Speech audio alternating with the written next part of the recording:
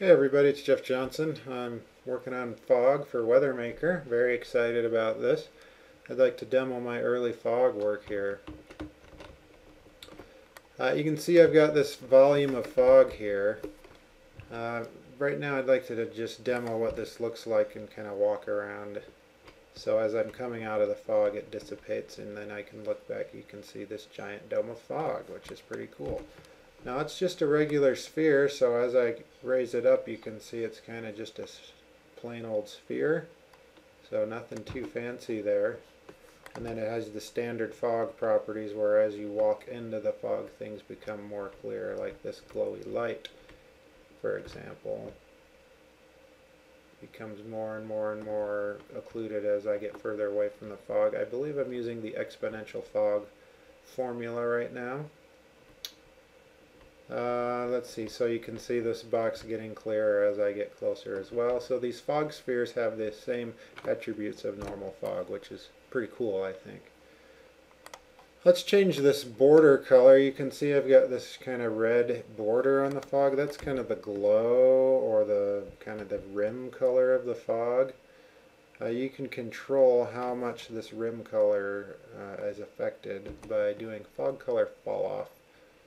So as I increase that, you can see the rim kind of starts dominating the fog. And this white part is kind of just a small little part inside.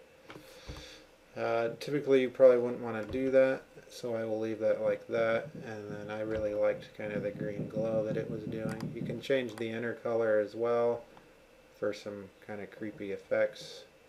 So make sure to play with that. I mean, you could put this fog sphere on top of the player to kind of globally add fog, or you could put it over certain areas in your game to hide them. I mean, it's pretty exciting. There's a lot of possibilities here. Alright, so let's move on to the density properties. Right now my fog is fairly clear. I mean, you can see that it's pretty easy to see through it.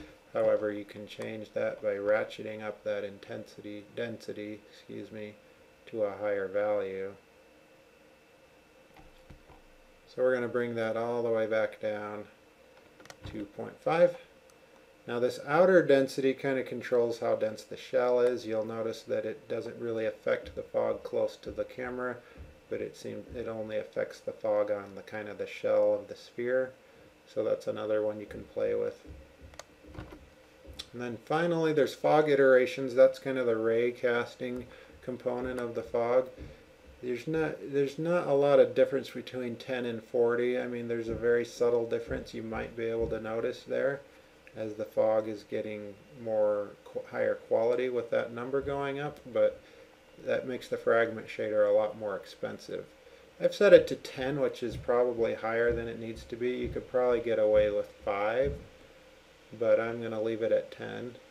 You can see if you go all the way to 1 that the fog is less quality, but it still looks pretty decent. So I leave that at 10.